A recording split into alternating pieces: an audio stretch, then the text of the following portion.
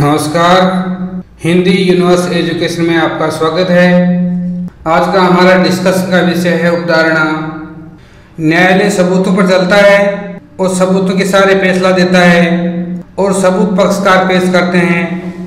लेकिन क्या आपने ये सुना है कि न्यायालय बिना जाँच के और बिना सबूत के केस के किसी तथ्य को सही और सत्य मान ले?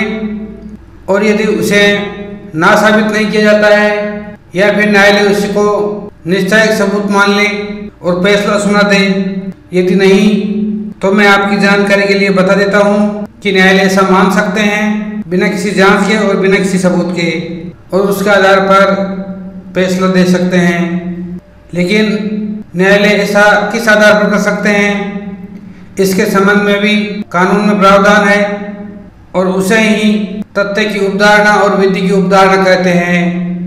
जिसके लिए तकनीकी शब्दावली का प्रयोग किया गया है उपधारणा कर सकेगा उपधारणा करेगा और निश्चय सबूत। इस प्रकार की तकनीकी शब्दावली को साक्ष्य अधिनियम की धारा चार में परिभाषित किया गया है। ये तीनों ही शब्द उपधारणा कर सकेगा उपधारणा करेगा और निश्चय सबूत साक्ष्य अधिनियम की धारा चार में परिभाषित किए गए हैं। सबसे पहले हम समझते हैं कि उपधारण का अर्थ क्या होता है। उपधारणा का अर्थ है किसी चीज़ को मान लेना। जब न्यायालय किसी तथ्य को मान ले या किसी तथ्य की अस्तित्व को उपधारित कर ले तो उसे उपधारण कहते हैं। और जिस पक्षकार के पक्ष में उपधारणा की जाती है, उस पक्षकार को जिस तथ्य की उपधारणा की की गई है, साबित करने की आवश्यकता नहीं है, उसे साबित नहीं करना पड़ता है उस तथ्य को। इसमें बिना जाँच के और बिना सबूत के किसी तथ्य को सत्य मान लिया जाता है। यह एक अनुमान होता है, जो विपरीत साक्ष्य नहीं मिलने पर किया जाता है। अब हम तथ्य की उपधारणा और विधि की उपधारणा शब्दावली को एक एक करके समझते हैं। सबसे पहले लेते हैं तथ्य की उपधारणा तथ्य की उपधारणा एक प्रकार से तार्किक निष्कर्ष होता है, जो कि तर्क के आधार पर निकाला जाता है, जो एक तथ्य के साबित होने पर दूसरे तथ्य का निकाला जाता है। तथ्य की उपधारणा हमेशा खंडनीय उपधारणा होती है। जब किसी तथ्य की उपधारणा कर ली जाती है, किसी तथ्य को मान लिया जाता है तो प्रतिपक्षी पक्षकार सबूत के द्वारा, साक्ष्य के द्वारा उस तथ्य को खंडित कर सकता है। इसलिए यह खंडनीय उपधारणा है, जिसका खंडन किया जा सकता है। तथ्य की उपधारणा उपधारणा कर सकेगा के बराबर होती है, जो खंडनीय होती है। यहाँ खंडनीय होने का हमें इस शब्दावली से भी अर्थ निकलता है। जैसे उपधारणा कर सकेगा कर सकेगा में जो कर सकेगा शब्द है, इसी का अर्थ यही निकलता है कि यह न्यायालय के विवेकाधीन शक्ति है। इसमें न्यायालय बाध्य नहीं है कि वह तथ्य की उपधारणा करे, कर भी सकता है और नहीं भी कर सकता। इसका इंग्लिश वर्ड है मे प्रिज्यूम जो कि न्यायालय को विवेकाधीन शक्ति प्रदान करता है। जबकि जो खंडनीय उपधारणा होती है, उसमें इंग्लिश का वर्ड है सेल प्रज्यूम जो कि न्यायालय को विवेकाधीन शक्ति नहीं देता है। न्यायालय इसको उपधारणा करने के लिए बाध्य होता है और इसीलिए ये शब्दावली इसमें लिखी गई है उपधारणा करेगा। इसके अलावा न्यायालय के पास में विकल्प नहीं है। लेकिन उपधारणा कर सकेगा हो या उपधारण करेगा, इन दोनों को प्रतिपक्षी पक्षकार खंडित कर सकता है साक्ष्य द्वारा, सभी, सबूत द्वारा, क्योंकि ये दोनों ही खंडनीय उपधारणाएँ है। उपधारणा करेगा, विधि की उपधारणा में आती है, जबकि उपधारणा कर सकेगा, तथ्य की उपधारणा में आती है।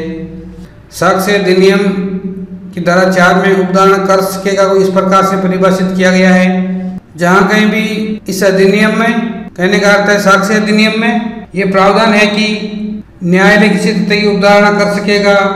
वहाँ न्यायालय या तो तथ्य को साबित मानेगा या फिर सबूत की मांग कर सकता है। डिस्क्रिप्शनरी पावर है न्यायालय की, कि न्यायालय तथ्य को साबित मान ले, या सबूत की मांग करें, और यह साबित तब तक ही माना जाता है, जब तक कि विपरीत रूप से ना ना साबित नहीं कर दिया जाए।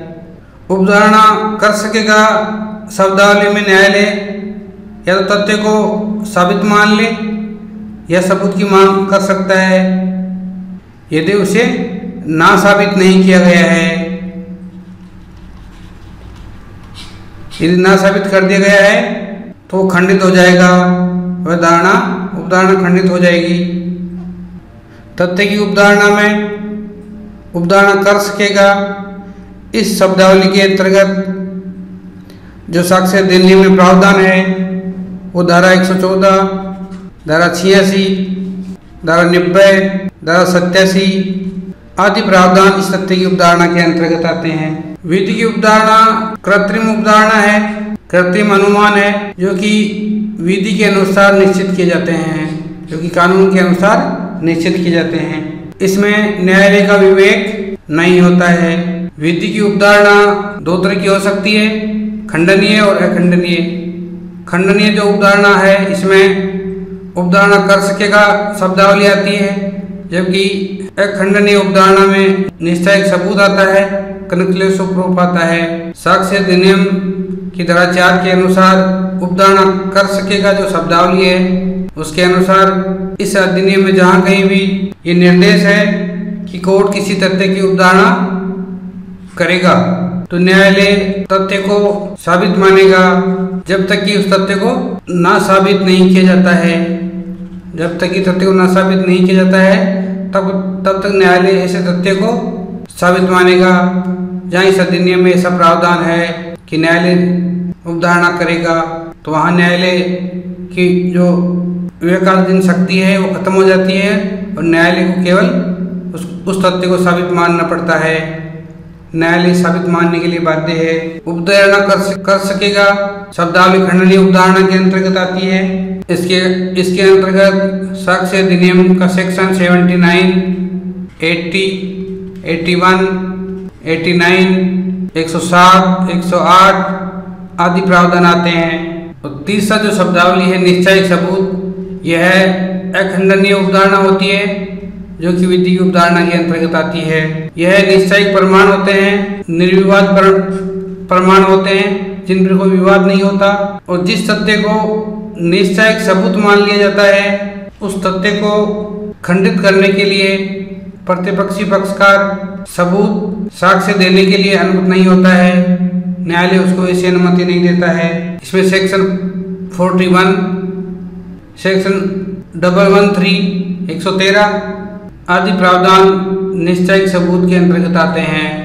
धारा 112 जो कि लेजिटिमेसी के संबंध में है निश्चय सबूत में साक्ष्य अधिनियम में प्रावधान है कि इस अधिनियम द्वारा एक तथ्य को अन्य तथ्य का निश्चय सबूत घोषित किया गया है तो ऐसी स्थिति में न्यायालय इसमें एक तथ्य को साबित होने पर अन्य तथ्य को साबित माना मानेगा। अन्य तथ्य को साबित मानेगा। और इस अन्य तथ्य को जिसको साबित माना है, उसके विपरीत साक्ष्य देने की अनुमति नहीं होगी, अनुज्ञा नहीं होगी। तथ्य की उपधारणा और विधि की उपधारणा में जो मुख्य अंतर है, वो अंतर न्यायालय की शक्ति का है। न्यायालय की विवेक की शक्तियाँ हैं, वो तथ्य की उपधारणा में होती है और विधि की अवधारणा में नहीं होती है। विधि की अवधारणा में न्यायालय को कोर्ट को डायरेक्ट निर्देश होता है कि वह तथ्य की उपधारणा करेगा। जबकि तथ्य की उपधारणा में न्यायालय तथ्य की उपधारणा कर भी सकता है और नहीं भी कर सकता है। न्यायालय इसमें बाध्य नहीं है। जबकि विधि की अवधारणा में न्यायालय बाध्य है। न्यायालय के पास में और कोई विकल्प नहीं है। यहाँ मैंने उपधारणा के विषय में एक संक्षिप्त आपको परिचय दिया है। नेक्स्ट वीडियो में हम रेस्ट एस्टे के संबंध में डिस्कशन करेंगे। तब तक के लिए नमस्कार धन्यवाद।